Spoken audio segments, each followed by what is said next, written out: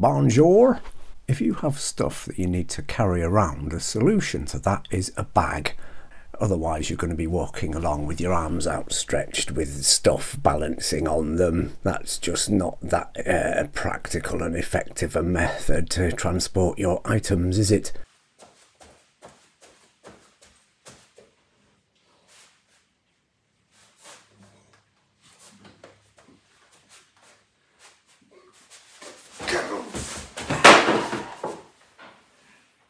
So, a bag is a solution. I think a really good option as a chap about town or a chap out in the woods for a small kind of day bag are the Mark 6 and Mark 7 World War II vintage gas mask bags. Also, the bags used by Indiana Jones in all the movies, which I think is a really cool connection. I've got a couple of genuine vintage World War II issued bags. These are now, these are um, this one and this one. These are Mark 6 bags produced I think from 1939 to 1941 and then from 1942 onwards the Mark 7 bags were produced. It's actually the Mark 7s that mostly feature in the Indiana Jones films, but from a practical standpoint, I've actually preferred to use the Mark 6s because they have this other external flap on the back, which is just a, a, useful pocket for storing stuff separate from the front pocket. You can just about squeeze an iPad into there. So, from a practical point of view, I always preferred to use the Mark 6 bags. These were issued to British soldiers in World War II for carrying a gas mask and all its associated bits and bobs in. This bag, M&S Limited, Mark 6, 1941, and this bag, W&G, just about see 1941. So these bags are now 83 years old. I've had both of these bags myself for about 20 years. Um, they've both been heavily used, but these are becoming a little bit too old and too precious to me personally to keep chucking them about and using them as a rough and tumble little day bag. I love these. The history, the links to Indiana Jones, genuine British Army bags of war from World War II. Love them, absolutely love them. I estimate they're about seven litres or so, so great for a, a, little day bag for a walk in the woods or something, or you know, to pop your lunch in and bits and bobs to take to work or whatever. But yeah, I, I wanted to kind of stop using these because they're really hard to get hold of now. They're really precious to me, so I wanted to retire them if I could, maybe pass them down to my kids when they're older, if they're interested. So there are quite a few makers, um, costumiers, and things that make reproduction Indiana Jones bags basically. And I've been looking at a couple of the available options so I can retire my genuine 83 year old bags, uh, but still have something with the Indiana Jones connection, something that looks rugged and is a nice, smallish but capable bag for for day use. I've used my uh, other bags for overnight trips and everything. You can fit a pair of pants, socks, and a top and a towel in your wash bag in one of these quite easily for overnight trips. So I've bought a couple and I just wanted to share my thoughts on them. Let's have a look at this guy first. This one I bought from Silverman's website in the UK. It's a decent little bag, very nice. They've even included the, the little bit of string that was used to, to wrap it around your, your body, wrap, tie this around your waist so that the bag didn't flap about too much when you were running away from gas attacks and things. Uh, so that's a nice touch. This one is more based on the Mark 6 in that it's also got an external flap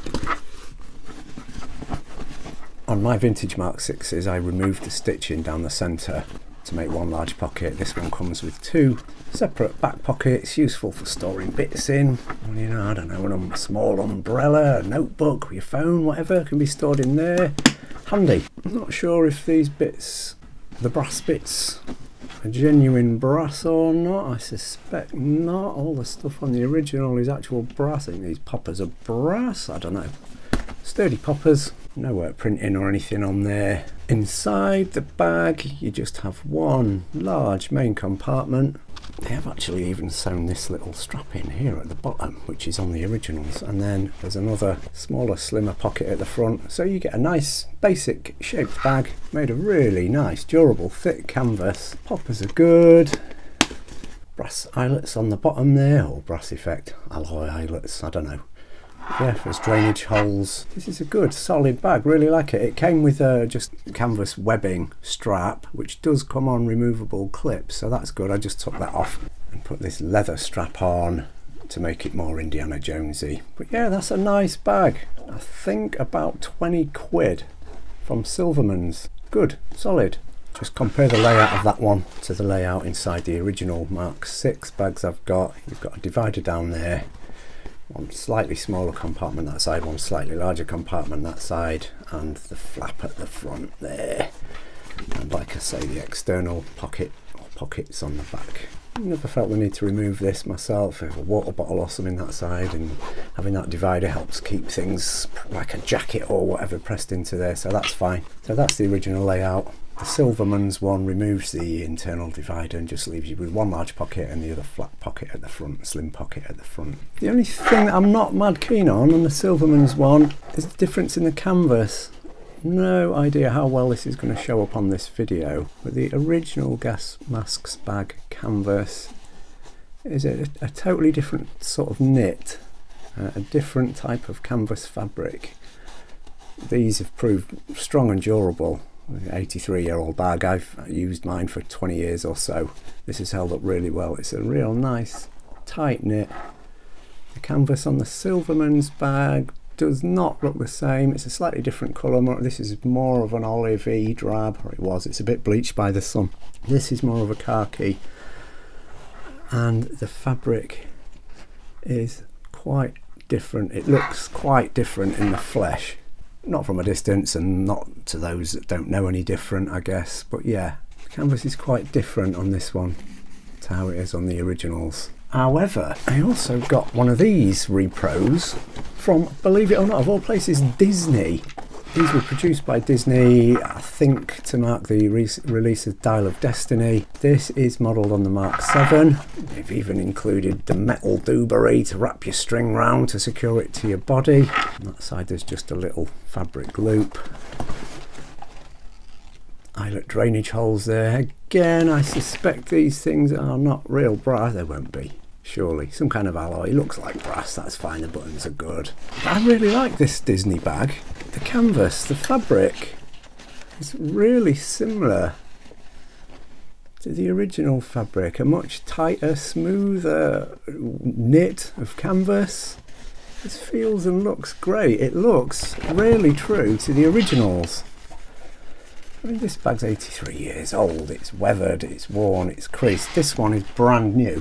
From Disney, of all people, again, these come with a, uh, a PU leather strap, which is not great. You could get away with it and use it, apart from the fact that it's extremely short. Here it is. I cut that off pretty much straight away.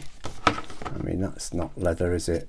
That's not going to fool many people, I don't think. But it was okay, or it would have been okay had it been long enough, it just sits, you know, above my waist, far, far, far, far too short. So I snipped that one off and swapped it for, for my old 20 odd year old leather strap there, which makes the bag look much better. I might rob the buckle off there, the little roller buckles, that's okay. Nothing on the back. So much more closely modelled on the actual Mark 7, the bags that Indiana Jones used in all the movies. This is really good. The Silvermans and the Disney are both really solid options. Ideal as a little bimbling day bag. Great stuff. I'm just going to show typically the sort of thing I might carry in it and you can have a look at the internal layout as well. So in one of these bags I might carry some snacks, a water bottle, a pen, my wallet, some more snacks, glucose tablets, a little kind of emergency stash of various useful bits and bobs in there. Got a down gilet, it's just scrunched up really small, slides in there no problem.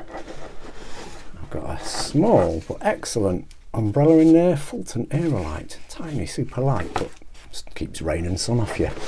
Little notepad, got a pack of, pack of cards in there. Always have a pack of cards with you, I say. Then I've got a hat. Also got a pair of leather gloves in there and a little couple of meters of paracord. That's it. All that swag fits really easily in there. Really nice, compact little bag. Enough to keep you going.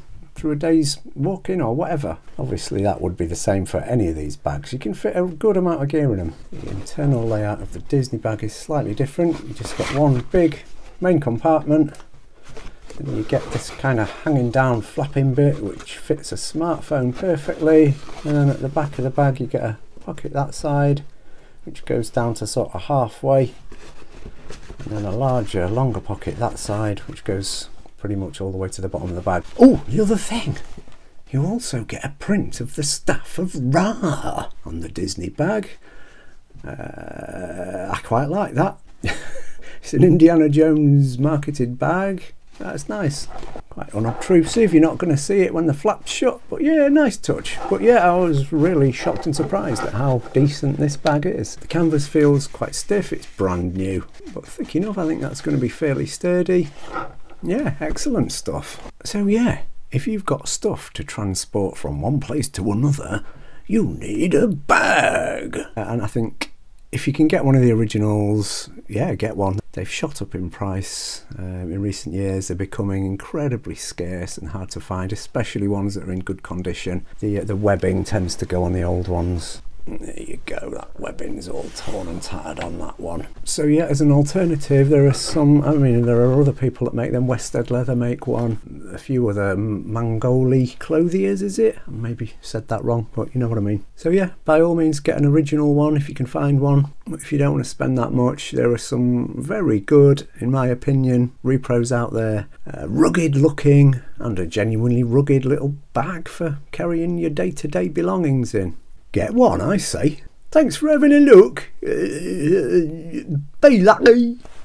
Bye.